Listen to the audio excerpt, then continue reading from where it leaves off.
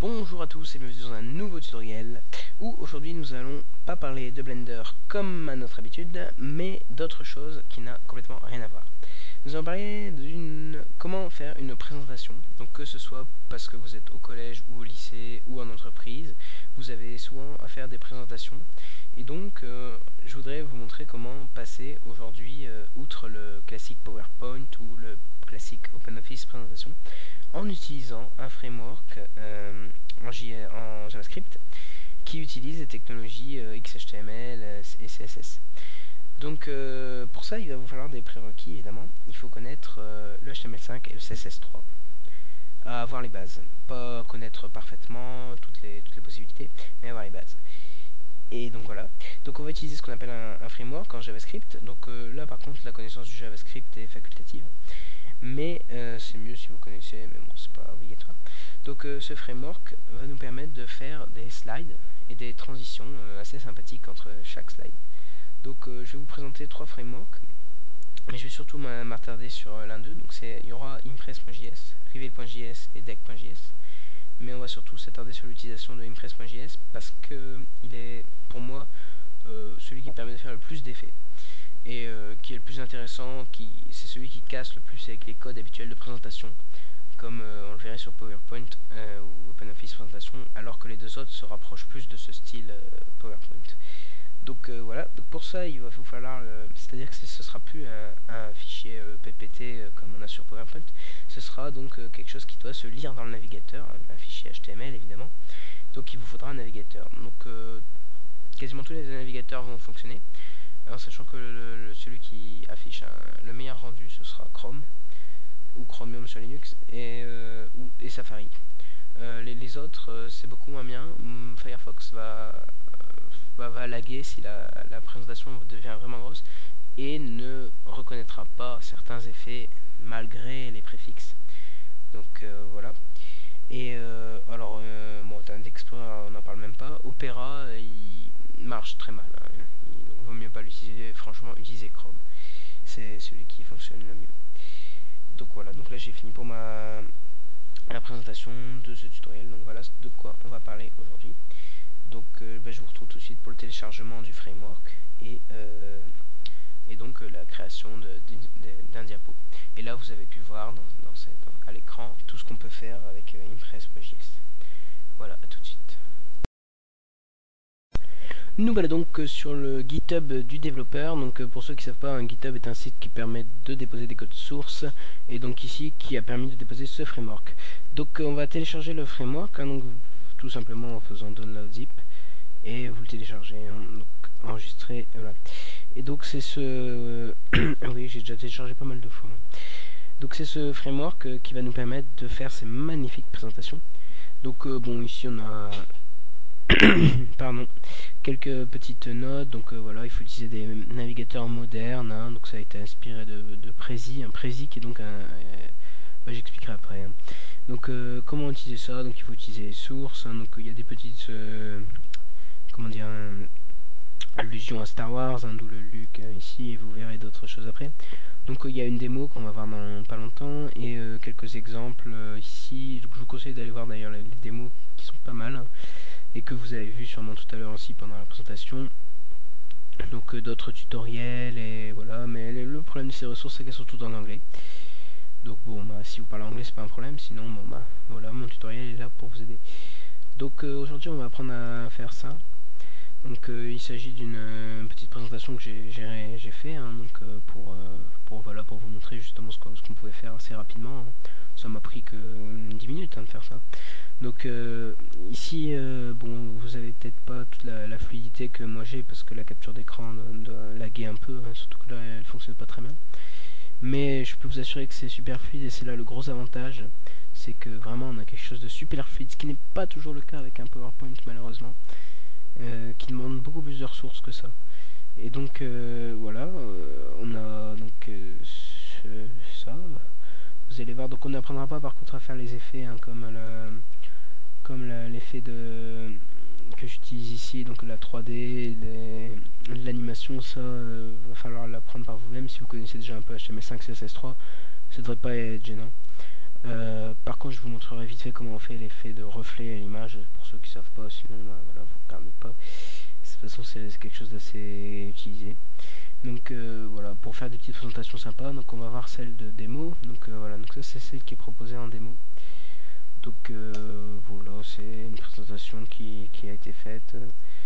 Et donc là, ils nous, disent qu'en fait, ce framework est inspiré de, Prezi, qui est donc quelque chose qui permet de faire la même chose, mais en utilisant non pas le CSS3 ni le HTML5, mais le système Flash. Mais Flash étant voué à disparaître, hein, puisque il déjà il est incompatible avec les systèmes GNU et Linux, et, puis c'est vraiment galère, hein, c'est très lourd. Donc maintenant on se tourne vers des solutions comme HTML5 et CSS3. Donc voilà, je vous remontre un peu ce qu'on peut faire. Hein, pour Ici, bon, une petite animation, on verra aussi vite fait comment faire ça. Que les seules limites, c'est l'imagination. Voilà, donc là, c'est mettre Yoda, toujours les petites allusions et donc c'est en 3D évidemment et enfin ce que j'adore c'est les petites vues de toutes les slides comme ça permet d'avoir une vue d'ensemble de toute la diapo qui est génial qu'on ne peut pas faire sur PowerPoint ou du moins j'ai jamais su comment vous et, ou pas, pas aussi bien en tout cas.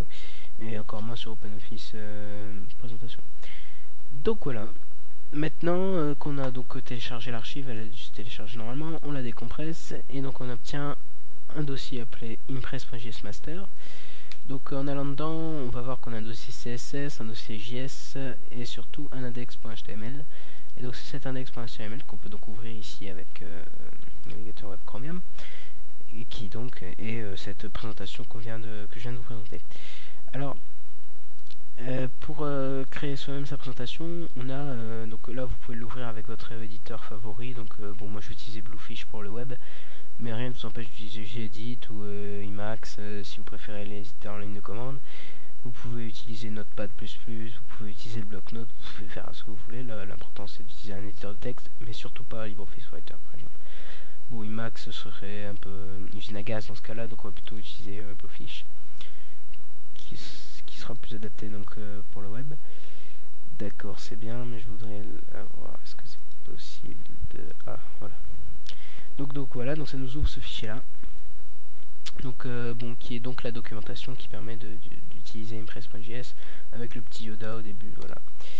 Donc c'est un peu complexe, hein, donc c'est pour ça que je vais essayer de, traduire, euh, surtout parce que en plus c'est en anglais, euh, de vous traduire tout ça et comment fonctionne le, système et traduire en français. Mais rien ne nous empêche d'aller relire la documentation après pour avoir plus de détails parce que je vais, je vais être beaucoup plus succinct. Donc euh, pour ça j'ai donc euh, ici le, bah, le, fichier de, ce qu'on a de ce que vous avez vu là ici donc euh, qui est présentation machin.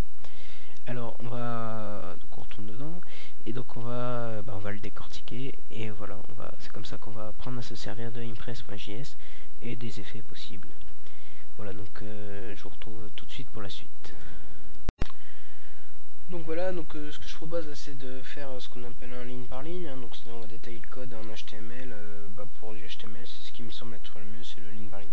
Donc on commence par un doctype, donc là voilà j'avais dit les bases, donc euh, bon bah, j'espère que vous connaissez ça, bon on HTML, on ouvre un, header, et donc on demande à utiliser l'UTF-8 pour le support des accents, donc ensuite là bon, on va demander à charger d'autres choses, hein. donc ça, c'est fourni de base dans le framework, donc je ne détaille pas, ça je ne sais même pas quoi ça sert. Hein. Euh, ça c'est pour la, web mobile. Hein. Euh, donc euh, ici donc on va donner un titre, on peut l'appeler présentation, mais bien évidemment dans le cas où vous feriez un exposé sur Léonard de Vinci, bah, vous l'appelez Léonard de Vinci, vous n'allez pas l'appeler présentation. Voilà, donc ici petite description, ça c'est pas vraiment important, ça sera pas vu dans le navigateur, il faudra aller chercher dans les entêtes et tout, donc c'est pas vraiment important. et là, alors voilà, ici ça c'est important, par contre on va demander à charger fichier font.font qui est donc un fichier contenant des polices. Donc euh, vous verrez que dans le framework c'est un peu différent. Moi j'ai préféré télécharger toutes les polices en local pour les avoir en local. Autrement il y a un lien URL qui permet d'aller les chercher sur euh, Google Font. Le problème c'est que votre diapo va nécessiter internet si vous faites ça. Et si vous faites euh, votre diapo dans un endroit où il n'y a pas internet, ça peut arriver. Et ben votre truc il est foutu parce que vous avez plus les polices. Donc c'est pour ça que vous mettez télécharger toutes les polices en local et on verra à la fin du tutoriel comment mettre une police en local et l'utiliser à partir de Google Font euh, dans votre diapo. Donc bon ici voilà une favicon, c'est-à-dire c'est l'icône qu'on a sur la page web euh, en haut dans l'onglet du navigateur. et puis là on demande à charger. Voilà, donc on fait un lien sur une image, bon voilà. Donc là on termine le leader et on entre dans, dans le body. Donc très important, dans le corps de la page, il faut demander à charger la classe Impress Not Supported. Et donc euh, on a un fallback message qui fait que si jamais euh, on n'est pas dans le cas d'avoir un moteur WebKit pour le rendu HTML, et eh ben ça va afficher ce message, cette présentation nécessite un navigateur basé WebKit et euh, auquel cas vous aurez le, les slides mais sans les transitions et sans la mise en page. Et donc ensuite on entre dans un div, hein, donc en, en, demandant à charger Impress. Et là vous pouvez indiquer premier paramètre, data transition duration, qui va permettre d'indiquer le temps de transition, euh, le temps que va mettre chaque transition, qui est indiqué en millisecondes. Donc là ça fait 1 seconde, virgule 1. En général faut pas mettre trop long parce que sinon après c'est trop chiant. Et euh, si on met euh, trop court, et eh ben ça suit pas et c'est pas fluide. Donc 1100 me semble pour moi être le temps le plus raisonnable. Donc euh, c'est très important si vous souhaitez que cette diapo soit considérée comme la première diapo de, de, lui donner le nom euh, validé euh, Et la classe, euh, on va voir dans 5 minutes, donc en fait c'est très important pour cette raison. C'est que, voilà, donc ça c'est la première diapo. Et donc voilà, donc le fait que ce soit la première, ça va permettre d'afficher ce, bandeau en bas réalisé par moi. Et donc, vous mettez ce que vous voulez, vous pouvez mettre utiliser les touches pour naviguer ou ce que et ce bandeau n'est affiché que sur la première diapo. Donc c'est important de, donner euh, l'idée euh, Et la classe step slide est donc une classe qui va définir non pas juste un texte, mais euh, un slide, c'est-à-dire avec un cadre blanc, et donc on pourra mettre le, texte qui sera limité dedans dans la, dans la slide. Alors, donc on continue. Donc bon, ici du HTML, donc un saut de ligne. On va donner donc le, le title et demander à ce que le texte soit centré et utiliser un texte de taille H2 là vous tapez. Bon ça c'est du HTML donc je détaille pas trop parce que je pensais que vous savez. Donc ensuite vous pouvez nommer tous vos tous vos divs euh, avec step 2 step 3 step 4 pour la bonne raison que comme ça vous pouvez faire ensuite des liens. C'est à dire qu'à certains euh, vous pouvez utiliser euh, la balise href enfin A puis href et donc référence à step 2 step 3 qui vous permet de naviguer entre vos slides sans avoir à passer toutes les slides. Ici, il y a vraiment beaucoup de slides, c'est vraiment très intéressant de à partir d'une slide, de, cliquer quelque part et hop, on va directement à la slide. Hein. Donc euh, bon, bah ça, va permettre euh, d'aller beaucoup vite. D'ailleurs, on peut le faire. Hein. Euh, mouvement, mouvement, je bouge. Donc ça c'était. Donc voilà, donc c'est tout simple. Il vous suffit de, de créer donc A. Donc ensuite, on va demander à changer de référence.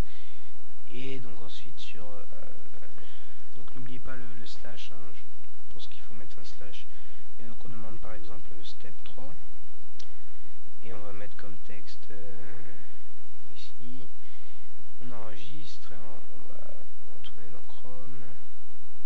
On va charger la présentation. Et il se rend directement à la slide 3 ce qui permet de, voilà, de créer des liens. Donc on a une petite décoration pour les liens, mais c'est que quand ils sont dans, le flottant, pas dans les slides. Donc là on la voit pas. Dommage. Donc euh, on va continuer. Donc on a une deuxième slide. Donc cette fois-ci on va commencer à avoir les notions de position. Donc la, deuxième slide donc qui est toujours une step slide est classée euh, en X. Donc voilà. Donc on a donc là pour ceux qui connaissent Blender ça va être facile hein. on a un déplacement en X de 1000 par contre je ne sais pas quelles unités sont utilisées. Je pense que doit être pixels mais je suis pas sûr. En Y de 500 et on demande une rotation. Donc une rotation par défaut elle est sur l'axe Z de 10 donc c'est le cas, donc on obtient une diapo comme ça qui va être donc déplacée de 1000, descendue de 500 et tournée de 10. Ensuite on a, euh, c'est tout pour cette classe là.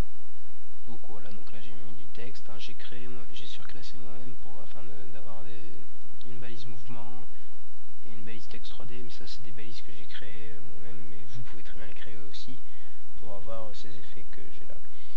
Euh, la step 3, donc c'est le step slide, machin, machin, machin, là on n'apprend rien, donc c'est toujours le même principe, sauf que j'ai ici inséré une image, et donc on verra après quand on décortiquera le, CSS en fin de tutoriel, comment euh, créer cet effet de, reflet, peut-être que beaucoup d'entre vous le savent déjà, c'est quelque chose qui est assez, assez utilisé. Alors euh, bon, step 5, step 5, voilà, donc on, introduit une déplace, un déplacement en, Z, c'est-à-dire sur l'axe Z, en profondeur à moins de 1800 et euh, voilà. Donc ça correspond à ça. Donc quand on avance ici donc on a bonne présentation. Donc là, la variation avec la bonne présentation, c'est justement qu'on n'est plus dans le cas d'une step slide, mais juste d'un step. Donc step, donc là on n'a plus la slide, c'est-à-dire le cadre blanc avec euh, machin. Et, oups, euh, excusez-moi. Euh, ça je vais pas le fermer. Là j'ai pas fermé le bon. Bon bah parti. Donc on va revenir ici. Et donc on n'a plus le, le slide blanc comme on avait ici on a directement le texte, donc qui va nous permettre d'accéder, comme on venait de voir, avec euh, au en dessous, donc il y a où, j'ai mis donc euh, moins 2800 machin pour, euh, eux la, position en Z, ce qui explique que ce soit donc alors je vais le rouvrir hein. test présentation, test HTML voilà. Donc on en était là. Donc bonne présentation à tous. Et ensuite la dernière le dernier div qui est donc s'appelle overview.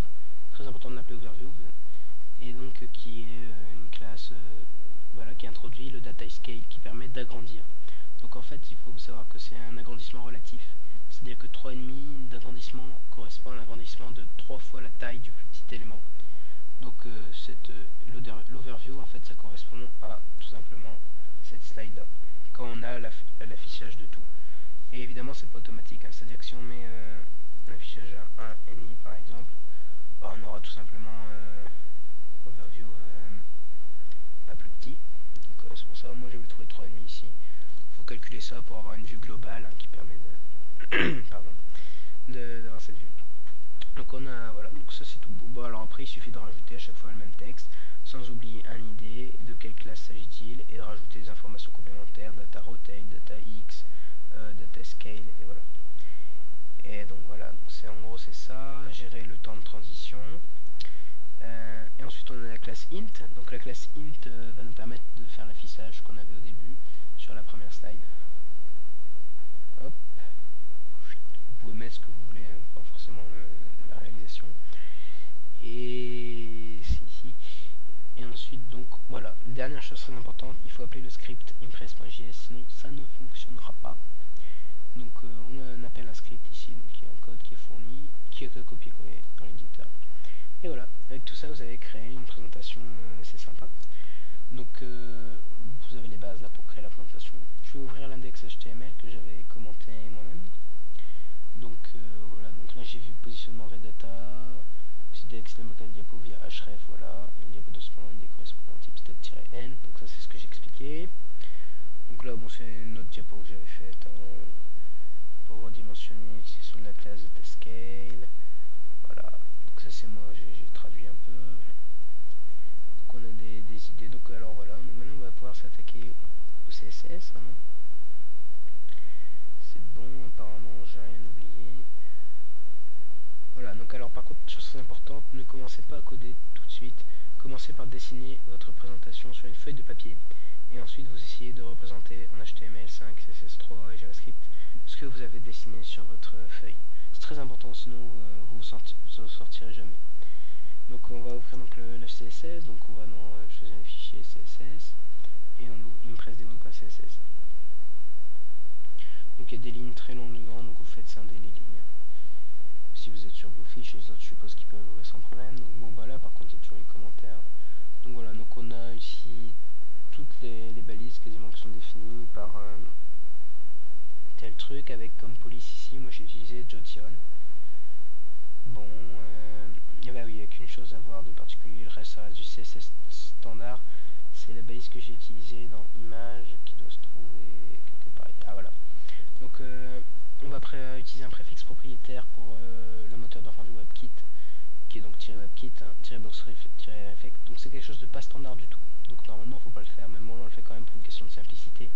Si vous voulez vraiment être standard et euh, respecter le World Web Consortium, dans ce cas-là il faut utiliser euh, un masque SVG pour faire le reflet, mais c'est beaucoup plus complexe, donc moi bon, bah, je ne suis pas standard, mais vu que je sais que ça va être lu avec Chromium, ça a l'importance.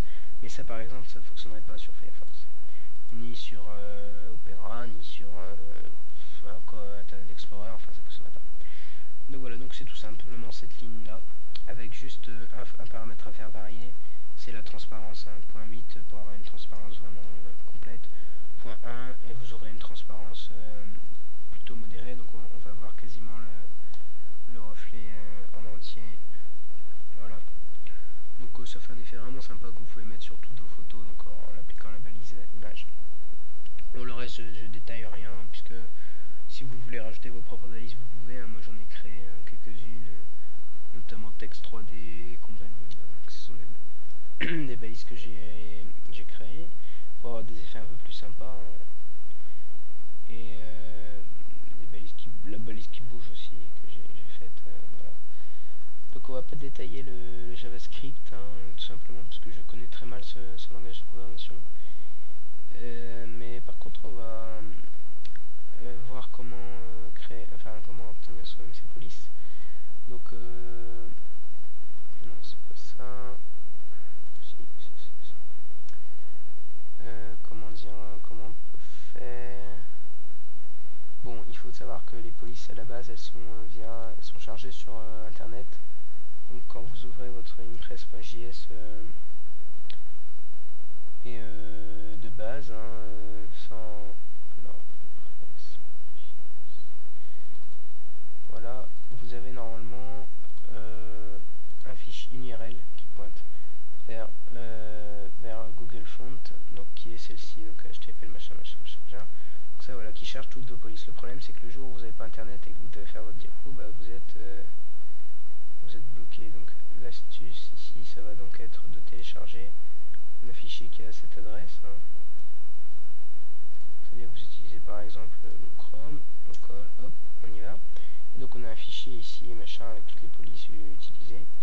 Donc euh, il suffit de il suffit de copier ce fichier dans un font.font comme j'avais fait tout à l'heure. Et ensuite, à chaque, euh, à chaque URL, à chaque police que vous voulez vraiment, et moi vous voyez ici euh, c'est beaucoup plus simple, je n'utilise qu'une seule hein, dans la présentation, il n'y a qu'une seule police, donc euh, j'ai eu qu'à le faire pour une seule police. Et ben à chaque police vous copiez donc ici l'URL, et ça va télécharger un fichier .wof donc vous faites euh, enregistrer hein, donc ça enregistre .wof vous le renommez. Et ensuite vous n'avez plus qu'à alors vous mettez le fond de face. Donc vous créez je vais le faire c'est ce qui est le plus simple je pense euh, document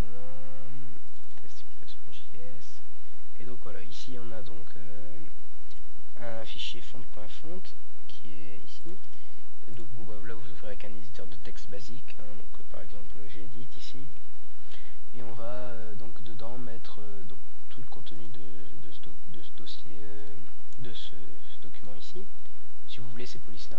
Et ensuite pour chaque police que vous voulez, vous la téléchargez et vous changez l'URL par ici par l'URL local.